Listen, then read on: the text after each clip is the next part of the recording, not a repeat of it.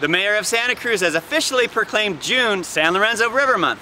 And as summer starts, you and your family can participate in interactive river-themed art at the Museum of Art and History. You can walk your dog at the Santa Cruz Riverwalk, enjoy outdoor public art at the Ebb and Flow River Arts Festival, and my favorite, you can become citizen scientists as you help us with water quality monitoring.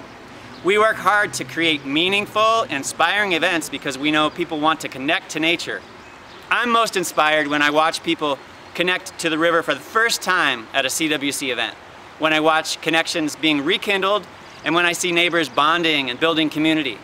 We know that that inspiration and connection drives our mission of preserving and protecting coastal watersheds. Thank you for following the work of the Coastal Watershed Council.